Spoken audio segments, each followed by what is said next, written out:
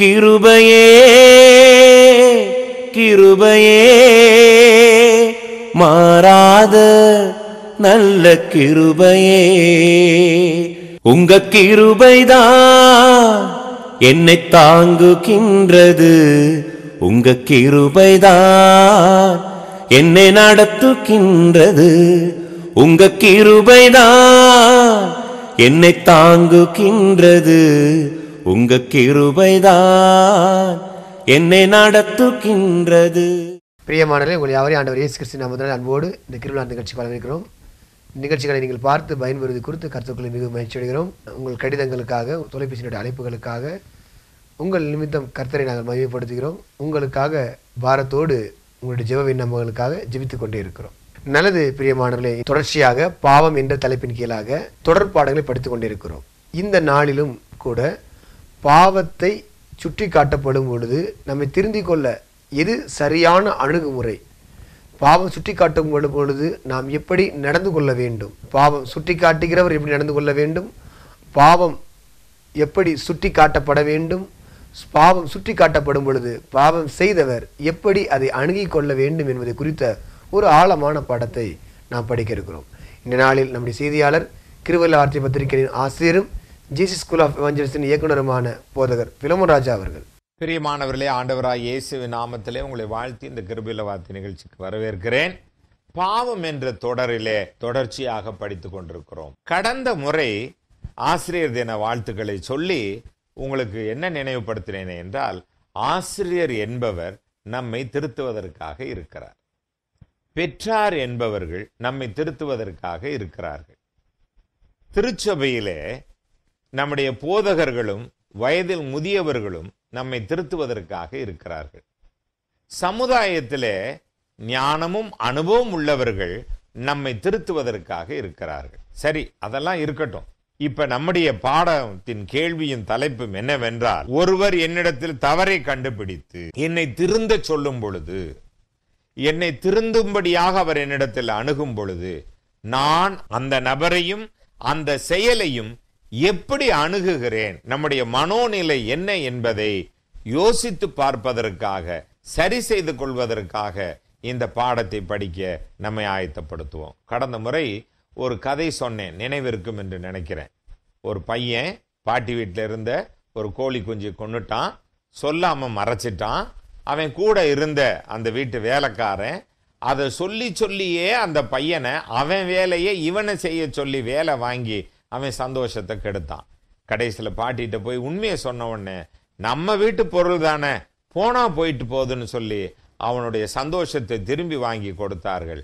ஆனபடியினாலே நம்முடைய தவறுகள் சுட்டி காட்டப்படும் பொழுது யாருக்கு விரோதமாய் தவறு செய்தோமோ அவர்களிடத்திலே அதை சொல்லி அவர்களுடைய நஷ்டத்தை சரி செய்து அவர்களும் நாமும் அமைதியும் சமாதானமாய் வாழ்வதற்கு நம்மை ஆயத்தப்படுத்திக் கொள்ள தவறுகளை திருத்தச் சொல்லும் பொழுது நம்முடைய அணுகுமுறை எப்படி இருக்கிறது என்பதிலே நாம் கவனம் உள்ளவர்களாய் இருக்க வேண்டும். தனிப்பட்ட திருத்தத்தில் ஈடுபடும் பொழுது நாம் நம்மை பார்த்து அன்பிலே உண்மையை பேச வேண்டும். இப்ப நான் சொல்ற முதல் குறிப்பு என்னன்னா நாம போய் ஒருத்தருடைய தப்பை சுட்டி காட்ட போறோம்னு வச்சுங்களேன்.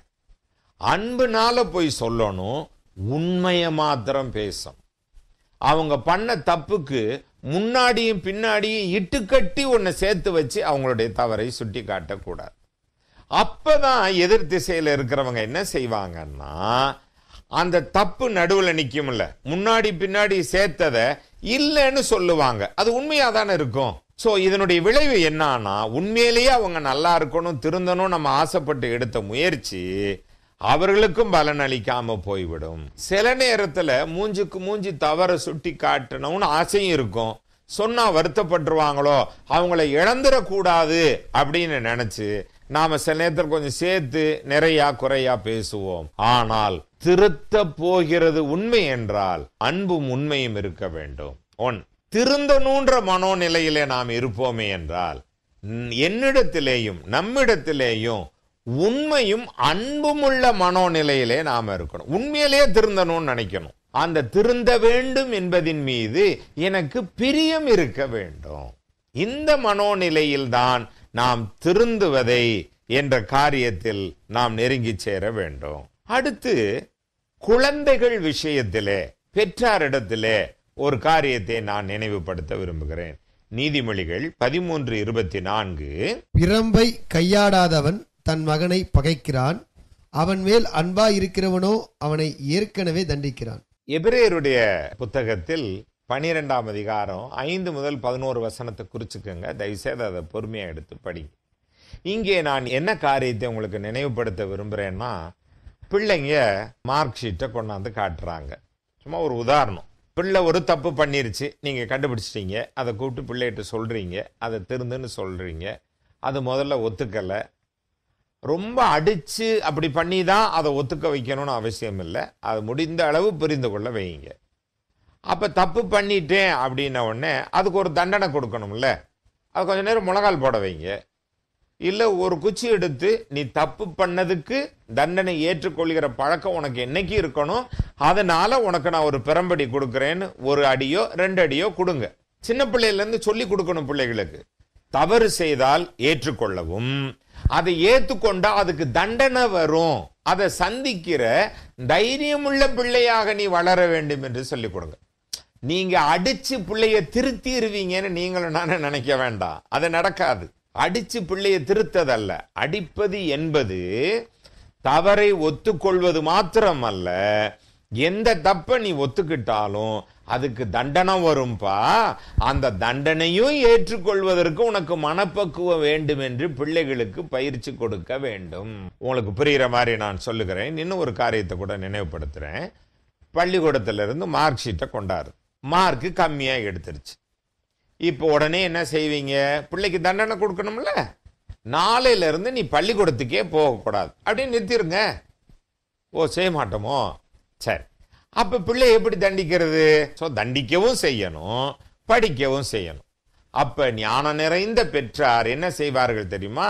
நீ மார்க் வாங்காம நீ பாடத்துல கவனம் இல்லாம நீ எதனால நீ மார்க் வாங்கலன்னு நீ சொல்லுன்னு கேட்கணும் உடனே மொபைல் போனை வாங்கி வை. உடனே டிவி ஆஃப் பண்ணு. அப்படின்னு நம்ம முடிவெடுக்க வேண்டாம். அவங்களையே கேட்போம்.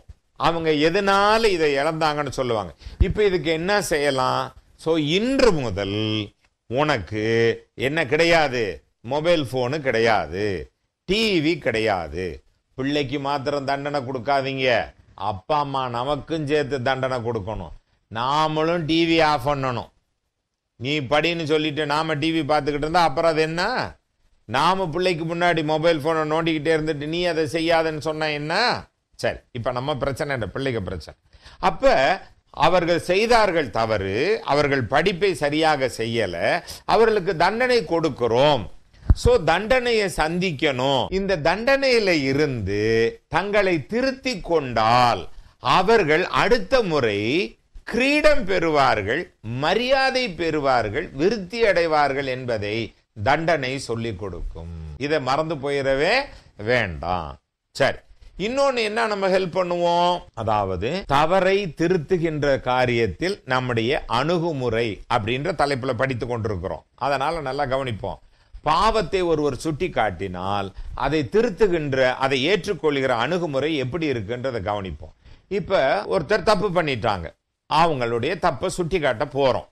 இல்ல சுட்டி காட்டுறோம் என்ன இங்க பைபிள்ல இருந்து நம்ம கவனிக்கிறோம் அப்படின்னா இந்த குழந்தை விஷயத்திலேருந்து என்ன கத்துக்கிறோம்னா இப்ப சயின்ஸ் பாடத்துல மார்க் குறைவு. அப்ப என்ன செய்யணும்? சயின்ஸ் பாடத்தை மீதி பாடத்தை விட அதிகமாக படிக்கும்படியாக அந்த பிள்ளைக்கு தேவையான உதவி செய்வோம். அன்பினாலே திருத்துங்கள்னு சொன்னதனுடைய அர்த்தம் புரிகிறதா? யார் ஒருவருடைய தவறையும் சுட்டி காட்ட போகும் முன்னதாக அந்த தவறை சுட்டி காட்டிட்டு அவங்க முதல்ல வெக்கப்பட்டுருவாங்க இல்லையா? யாராக தான் இருந்தாலும் நம்ம பிள்ளையா இருந்தான்னா அடுத்தவங்க பிள்ளையா இருந்தான்னா சின்னவங்களா இருந்தான்னா பெரியவங்களா இருந்தான்னா அப்ப அடுத்து என்ன செய்யணும் அப்படின்னா அவர்களை அதிலிருந்து வெளியே வருவதற்கான அணுகுமுறையும் சொல்லிக் கொடுக்க வேண்டும். அதுக்கு பேர் தான் அன்பினாலே செய்வது.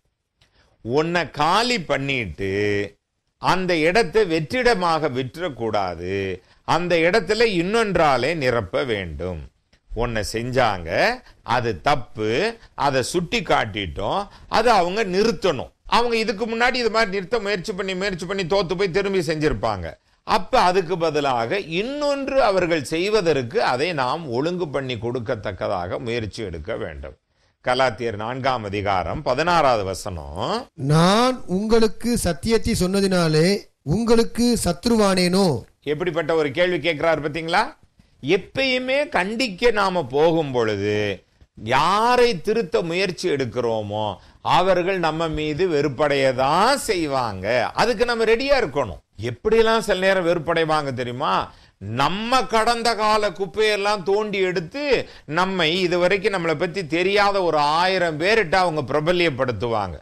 அதனால அதை பத்தியெல்லாம் நம்ம என்ன பண்ணக்கூடாது? கவலைப்படக்கூடாது. நம்ம நோக்கம் அவங்க திருந்தணும். அது அன்பினாலே செய்யணும்னு போயிட்டோம். அப்ப முதல் முதல்ல எடுத்த உடனே அப்படித்தான் செய்வாங்க. அதை பொறுத்துக்குவோம். ஆனால் நாம அன்பால தான் செய்கிறோம் நம்ம சொன்னது அவங்களுக்கு நன்மை ஆயிடுச்சு அப்படின்றத ஒரு முறை அவர்கள் ருசித்து விட்டால் அடுத்த முறையிலே இருந்து நாம் சொல்வதை கவனிக்க ஆரம்பிப்பார்கள். இந்த மிஸ் எனக்கு ரொம்ப பிடிக்கும். இந்த டீச்சரை எனக்கு ரொம்ப பிடிக்கும். எங்க அம்மாவை விட எங்க அப்பாவை தான் எனக்கு பிடிக்கும். இல்லை இவங்களை எனக்கு ரொம்ப பிடிக்கும் அப்படின்னு சில பேர் பேசுவாங்க. நீங்க கவனிச்சிருக்கீங்களா? அது என்ன பிடிக்கும்?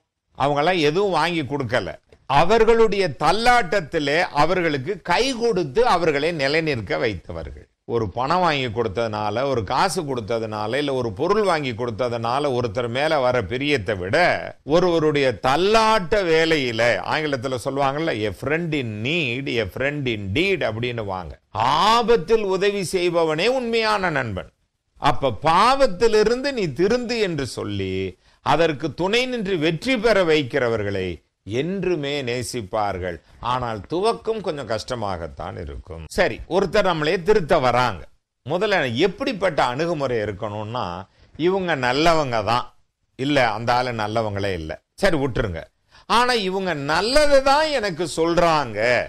அதை கடவுள் இவங்க மூலமா அனுமதிச்சிருக்கிறாரு அப்படின்னு ஏற்றுக்கொள்ளும் எடுத்த உடனே அவங்கள பத்தி இதை சொல்ற நீ முதல்ல ரைட்டா உனக்கு என்ன யோக்கியம் இருக்கு? நீ இப்படி நடந்தியாத மாதிரி இருந்தப்ப இவங்கெல்லாம் எனக்கு சொல்ல வந்துட்டாங்க பாருங்க. பா அட்வைஸ் சொல்றதுன்னா அப்படியே வேகமா ஓடி வருவீங்களே. நீங்கெல்லாம் முதல்ல நடந்து பாருங்க. இப்படிப்பட்ட மனோநிலையானது அவங்கள மூஞ்சில அடிச்சு அவங்க மூஞ்சில கரிய பூசி அவங்கள தோக்கடிச்சு ஓட வைக்கல. கடவுள் நம்மை படைத்த ஆத்துமாவும் நான் மன அமைதியோடு சமாதானத்தோடு நான் வாழும்படியாக கடவுள் எனக்கு உருவாக்கி கொடுக்கிற அந்த தருணத்தை நான் புறக்கணிக்கிறேன் என்பதை மறந்து போய்விட வேண்டாம். அவங்க அப்பா சொல்றாரு சொத்தை பிரிச்சுட்டு போக வேணாண்டான்றார். அதெல்லாம் இல்லை நீ எனக்கு கொடுத்துருன்றார். அவன் போய் என்னானான்? யோசித்து பாருங்கள். அடுத்தபடியாக நம்மை திருத்த ஒருவர் வரும்பொழுது நமக்கு இருக்க வேண்டிய அணுகுமுறை எப்படிப்பட்டதுன்னா ஒரு போதகர் அவர் நமக்கு நல்லதை சொல்லி கொடுக்கிறார். சம்மோன் இஸ் டீச்சிங் யாரா இருந்தாலும் சரி அது சபை போதகரோ நண்பரோ பெற்றாரோ சமுதாயத்தில் இருக்க பெரியவங்களோ பள்ளி ஆசிரியர்களோ யாரோ ஒருவர் நம்முடைய நாம் போய் கொண்டிருக்கிற சபையினுடைய போதகரோ யாரோ ஒருவர் அவங்க சொல்றது சரிதான். இல்லைங்க எனக்கு இதை ஏற்றுக்கொள்ள மனசு இல்லைங்க அப்படின்னு ஒரு வேளை உங்க மனசுல பட்டுச்சுன்னா சரிங்கய்யா நீங்க சொல்றதை எனக்கு கொஞ்சம் வசனத்திலிருந்து சொல்லுங்கன்னு கேளுங்க. அப்ப அந்த சொல்ற நபர்கிட்ட ஒருவேளை ஏதோ தவறு இருக்கும்ல அதையே நம்ம சுத்தி பார்க்கறதுக்கு பதிலா கடவுளுடைய வார்த்தை இதை என்னிடத்தில் எதிர்பார்க்கிறது. சொல்லுகிற நபர் வேண்டுமானால் குறைவுள்ளவனாய் இருக்கலாம். ஆனால் என்னை நேசிக்கிற கடவுள் என்கிட்ட பேசுறாருல அப்ப வசனம் இப்படி இருக்கிறதுனால பைபிள் சொல்லுவது சரிதான் என்ற மனோநிலையை நாம் உறுதி அடைவதற்கு வசனத்தை தெரிந்து கொள்ள அவர்களின் உதவியை தேட வேண்டும். அப்ப நம்முடைய அணுகுமுறை எப்படி இருக்கணும் நீங்க உண்மை தன்மை உள்ளது வேதம். அது பொய்யுள்ளது அல்ல. அது நன்மையை விளைவிக்க கூடியதாக இருக்கிறது. அதனால சொல்ற நபரை விட சொல்லப்படுற காரியம் சரியாக இருக்கணும். அந்த சொல்ற விஷயம் சரிதான். நபர் சரியில்லைன்னா அந்த செய்தி சம்பந்தமாக ஆதாரத்திற்கு வசனத்தை தேடுங்கள். அடுத்தபடியாக திருத்தம் குறித்ததான தவறான மனப்பான்மை நம்மகிட்ட இருந்தா நாம செய்யக்கூடிய ஒரு காரியம் என்ன அப்படின்னா எப்படியாவது சுத்தி சுத்தி ஏன் முடியல? எத்தனை பேர் இத மாதிரி செய்யல? யாரெல்லாம் இப்படி முயற்சி பண்ணி தோத்து போயிட்டாங்க? அப்படின்னே நாம ஆதாரம் தேடிக்கொண்டே இருப்போம். நீங்க நம்ம எல்லாருக்கும் இந்த அனுபவம் இருக்கும். இல்லை இது வேணாங்கன்னு சொன்னால் இது அது பாருங்க அங்கே தோத்து போச்சுன்னுவாங்க. இல்லைங்க இப்படி பண்ணுங்கங்கண்ணா இந்த அங்கே பாருங்க அது அப்படி ஆகி போச்சுன்னுவாங்க. அப்படி திரும்பி திரும்பி சொல்லுவதனுடைய மனோநிலை என்னன்னா இதை அங்கீகரிக்க நான் ஆயத்தமாக இல்லை என்ற மனநிலை நமக்குள்ளே வந்து விடுகிறது. சரி இப்படி வைத்துக்கொள்வோம் அடுத்தவங்க சுட்டி காட்டுறது எனக்கு பிடிக்கல. சுட்டி காட்டாங்க. அந்த இடத்த மூஞ்சி தூக்கக்கூடாது மூஞ்சி தூக்கிட்டு எப்படியோ போயிட்டோம். அது தப்பு தான் இப்போ ஒன்று செய்வோமே. எப்படியோ ஒரு செய்தி நம்ம காதில் விழுந்துருச்சுல. அப்போ போய் உட்காருவோம். பைபிளை கையில் எடுங்க. வசனம் என்ன சொல்லுதுன்னு பாருங்க. கத்தருடைய வார்த்தை நிமித்தமாவது நாம் திருத்தத்தை பற்றிய தவறான மனோநிலையை மாற்றிக்கொள்ளணும்னு நம்மை உணர்த்திப்படுவோம் ரெண்டு திமுத்திய நாலாம் அதிகாரம் ரெண்டாவது வசனத்தில் சமயம் வாய்த்தாலும் வாய்க்காவிட்டாலும் ஜாக்கிரதையாய் திருவசனத்தை பிரசங்கம் பண்ணு. எல்லா நீடிய சாந்தத்தோடும் உபதேசத்தோடும் கண்டனம் பண்ணி கடிந்து கொண்டு புத்தி சொல்லு. அதாவது எளிமையா பைபிள் அப்படின்னு ஒரு வார்த்தை சொன்னா நம்மளைய பரலோகத்துக்கு கூட்டிட்டு போறதுக்கு ஒரு அப்பழுக்கும் இல்லாம அடிக்கடி நம்மளைய கண்டனம் பண்ணி கடிந்து கொண்டு போதித்து புத்தி சொல்லிக்கிட்டே இருக்கும். அதான் பைபிள். அவ்வளவுதான் முடிஞ்சு போச்சு. சிம்பிளா. அது மாத்திரமே இல்லை நிறைய இருக்கு. பட் எளிமையா இப்ப திருத்தம் என்ற விஷயத்துல. அப்ப ஞாயிற்றுக்கிழமை பிரசங்கம் குத்தி தான் காட்டப்படும். பைபிள் ஸ்டடியில் குத்தி காட்டப்படும். தனியா படிச்சா குத்தி காட்டப்படும். அது எதுக்கு? நம்மளை குற்றவாளின் தீர்ப்பிற்கு அல்ல. நீதி தீர்ப்புன்னு ஒன்று இருக்குல்ல. நியாய தீர்ப்பு என்று இறுதி நாள் தீர்ப்பு இருக்குல்ல. அன்னைக்கு மொத்தமா கண்டம் பண்ணி தூக்கி நரகத்துல போடுறதுக்கு பதிலா இப்பயே கொஞ்சம் கொஞ்சமா கொஞ்சம் கொஞ்சமா நம்மகிட்ட எச்சரிப்பு கொடுக்கப்பட்டு அங்கங்கே இருக்கிற தவறுகள் அவ்வப்பொழுதே சரி செய்யப்படுவதற்கு பாருங்க ஓய்வு நாள் கட்டளையை மீறாதிருப்பாயாகன்னு சொல்லுது. சொல்லி பொறுக்கலான் இருக்கு. எல்லாரும் கல்லால் அடிச்சு கடைசியில சாகடிக்க வேண்டிய ஒரு நிலைமை வந்துச்சு. யோசுவா காலத்தில் வெற்றி பெற முடியாமல் போன நிகழ்ச்சி வந்தப்ப ரொம்ப சோர்ந்து போகிறார் யோசுவா. தேவன்கிட்ட கேட்ட பொழுது உங்கள் கூட்டத்தில் பாவம் இருக்குன்றார். சரின்னு எல்லாரையும் தேடுறாங்க அந்த மாதிரி இந்த மாதிரிலாம் முயற்சி பண்ணுறாங்க கடைசியில் ஒரே ஒரு குடும்பத்தை கண்டுபிடிக்கிறாங்க. அதுக்குள்ளே ஒரு ஆள் இருக்கான். அந்த குடும்பத்தில் இருக்க எல்லாருக்குமே தெரியல. அந்த ஒத்தாள் மாத்திரமே இந்த வேலை பார்த்துருக்கான். திருடிட்டு வந்து தான் இருந்த அந்த கூடாரத்துக்கு அடியில் குழியை தோண்டி உள்ளே வச்சு மூடி மறைச்சி வச்சுருந்துருக்கான். சோ இப்பொழுது உங்களுக்கு புரிகிறதா? ஆம் முழு தோல்விக்கு முன்பாக நரகம் நமக்கு பரிசாக மாறாமல் போவதற்கு முன்பாகவே அவ்வப்பொழுது தேவன் சொல்லுவார் அவர்கள் முழுசும் தோத்து போகாம இருக்க ஒரு மனிதன் தண்டனை பெற வேண்டியதாக இருந்தது. ஆம் நம்முடைய வாழ்க்கை இறுதி நாளிலே முழுவதும் தோத்து போன நிலைமைக்கு வராமல் இருக்க திருத்தத்தை பற்றி நம்முடைய மனோநிலை மாற வேண்டியது அவசியமானதாக இருக்கிறது. ஒன்று குருந்தியர் பதிமூன்றாம் அதிகாரம் ஐந்தாவது வசனத்தில் அயோக்கியமானதை செய்யாது தற்பொழிவை நாடாது சினம் அடையாது தீங்கு நினையாது. சரி ஏன் எல்லாருக்கும் முன்னாடி சொல்லி எங்களை கேவலப்படுத்துறீங்க? பொதுவா எல்லாரும் சொல்லக்கூடிய வார்த்தை.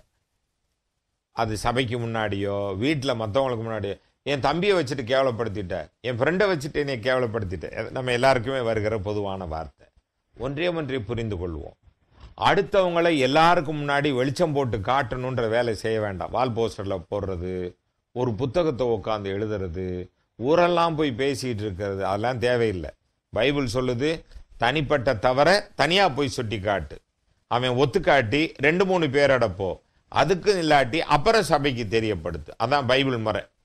சரி இப்ப நாம இங்க என்ன படித்துக்கொண்டே வருகிறோமே என்றால் ஊரெல்லாம் பிரபலியப்படுத்த வேண்டாம். தவற திருத்த போறவங்க. ஆனா கடவுள் இன்னொன்னு தப்பு செஞ்ச எனக்கு என்ன சொல்றாருன்னா நான் இதை வெளிச்சம் போட்டு காட்டணும்ல ஏன்னா நீ தப்பு பண்ணன்ற நினைப்பே உனக்கு இத்தனை நாளும் வரலையே. அப்போ உன்னை நான் எப்படிதான் உன்னை அதை நான் உணர வைக்கிறது? எங்கேயோ ஒரு விதத்துல உணரல அங்க இங்க மெது மெதுவா செஞ்சு பார்த்தேன் சொல்லி பார்த்தேன். நீ பாட்டு பாடினப்போ உணர்த்தினேன் நீ வசனம் படித்தப்போ உணர்த்தினேன் நாலு பேர் மூலமாக மெதுவாக சொல்லி காமிச்சேன். அது பரவாயில்ல நீயே சொல்லிட்டு போயிட்டு இருந்தப்ப அப்ப அதை வெளிச்சத்துக்கு முன்னாடி கொண்டு வந்தே ஆவார். ஆனபடியினாலே இதுல எரிச்சல் படுவதற்கு என்ன இல்லை இடம் இல்லை திருந்துறதுக்கு மனோநிலை ரொம்ப முக்கியமானது. ரெண்டையும் கவனிச்சிங்களா? தப்ப சொல்றவங்க எல்லாருக்கும் முன்னாடி அவங்கள பிரபலப்படுத்த வேண்டிய அவசியம் இல்லை. ஆனா ஒருத்தர் அப்படி பண்ணிட்டாங்கன்றப்ப அத அவர்கள் மேலே நாம் எரிச்சல் அடையாமல் நம்மை நாம் நோக்கி பார்க்க வேண்டியவர்களா இருக்கிறோம். வசனம் சொல்லுது எல்லாருக்கும் முன்பாக தப்பு செஞ்சவனை எல்லாருக்கும் முன்னாடி கடிஞ்சு கொள்ளுன்னு சொல்லுது. ஒரு வார்த்தை பேசுவாங்க தெரியுமா? நாலு பேருக்கு முன்னாடி திட்டிட்டு தனியா போய் சாரி சொல்றது. அது நல்ல பழக்கம் இல்லை அவர்கள் எல்லாருக்கும் முன்னாடி நம்மாலே அவமானப்படுத்தப்பட்ட தவறை நாம் செய்திருக்கிறோம். அப்ப எல்லாருக்கும் முன்னாடி மன்னிப்பு கேட்க வேண்டியது அவசியமாக இருக்கிறது குறிப்பாக வயசில் பெரியவங்க சின்னவங்ககிட்ட மன்னிப்பு கேட்டு பழகுவோம். அது என்ன பொடி பிள்ளைகள்கிட்ட போய் நான் மன்னிப்பு கேட்கறது? அப்புறம் அந்த பிள்ளை நாளைக்கு பெருசாகும்ல? அதுவும் அதே மாதிரி மனோநிலையில் வளரும்ல? நாம தானே அவர்களுக்கு கண்ணாடி. மறந்து போய்விட வேண்டாம். ரெண்டு திமுத்தி நாலாம் அதிகாரம் ஒன்றாவது வசனத்தில் நான் தேவனுக்கு முன்பாகவும் உயிரோடு இருக்கிறவர்களையும் மரித்தவர்களையும் நியாயந்தீர்க்க போகிற கர்த்தராகிய இயேசு கிறிஸ்து முன்பாகவும் அவருடைய பிரசன்னமாகுதலையும் அவருடைய ராஜ்யத்தையும் சாட்சியாக வைத்து கட்டளையிடுகிறதாவது. சமயம் வாய்த்தாலும் வாய்க்காவிட்டாலும் ஜாக்கிரதையாய் திருவசனத்தை பிரசங்கம் பண்ணு. சொந்தமா நான் நினைச்சேன் நான் கேள்விப்பட்டேன் அப்படின்ற காரியத்தை யாருத்தவங்க மேல நாம குறை சொல்ல வேண்டாம்.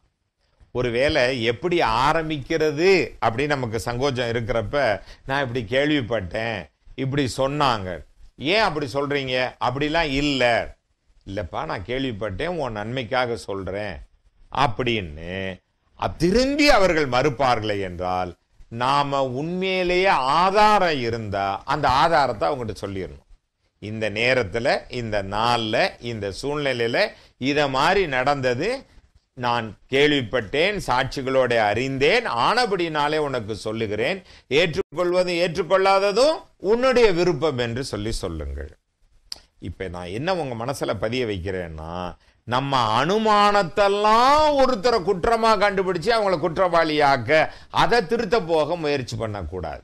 சொல்ல போகிறவங்க கேட்க வர்றவங்க அவங்க நமக்கு ஆதாரத்தோட சொன்னால் உடனே நம்ம மனசு ஒரு மாதிரி இருந்தாலும் நாம் அமர்ந்து வசனத்தோட ஒப்பிட்டு நாம் திருந்துவதற்கு நம்மை பயன்படுத்தி கொள்ள வேண்டும். அடுத்து தவறை சுட்டி காட்டும் பொழுது அல்லது தவறு பற்றிய விஷயங்கள் வரும் பொழுது திருந்துவதற்கான நம்முடைய மனோநிலை எப்படி இருக்குன்னா என்ன என்னை பத்தியோ என் பிரச்சனையை பத்தியோ யாரும் கண்டுக்கிறது இல்ல ஆனா இப்ப என் தப்ப மாத்திரம் சொல்லி காட்ட வந்துட்டீங்கல்ல? மீதி நேரத்தெல்லாம் எங்க போனீங்க? அப்படின்னு மனிதர் பேசுவது ஒரு இயல்பு. எங்க எல்லாரும் நம்ம வாழ்க்கையில எப்ப பார்த்தாலும் நம்மளை வந்து ஒருத்தர் தூக்கி சுமந்துக்கிட்டே இருக்கணும்னு என்ன கிடையாது? அவசியம் கிடையாது. என்னுடைய வாழ்க்கையை நான் தான் வாழணும். உங்க வாழ்க்கையை நீங்க தான் வாழணும். ஏன்னா அவனவன் நன்மைக்காது தீமைக்காது தக்க பலனை கிறிஸ்துவிட்ட கொடுக்கும். அப்புறம் எதுக்கு அடுத்தவங்க? இல்லை அடுத்தவங்க மூலமாக கடவுள் நம்மகிட்ட பேசுகிறார். ஒன் ரெண்டாவது உண்மையிலேயே ஒருத்தரை நேசித்து அவங்க தவறை நாம் சுட்டி காட்டுவது உண்மையான எண்ணம் என்றால் முடிந்த அளவு அவர்கள் பிரச்சனையிலும் நாம் அவர்களுக்கு உதவி செய்ய ஆயத்தம் உள்ளவர்களாக இருக்க வேண்டும். அதுக்காக முழுசும் போய் சிக்கிக்கிங்கன்னு சொல்லலை. வசனம் சொல்லுது அடுத்தவன் கடன் வாங்குறதுக்கு நீ சாட்சி கையெழுத்து போடாதன்னு பைபிள் சொல்லுது. கவனமா இருங்க. அவன் கடன் வாங்கினாங்க ரொம்ப கஷ்டப்பட்டுட்டாங்க. ஆனால் நான் காப்பாத்துறேன் பேர் வழி அதனால நான் போய் என்ன செஞ்சேன்? கையெழுத்து போட்டு நானும் மாட்டிக்கிட்டேன். இப்படி போய் உதவி செய்ய போனேன் அப்படின்னு சொல்லலை. உங்களால் இயன்றதை செய்யுங்கள்.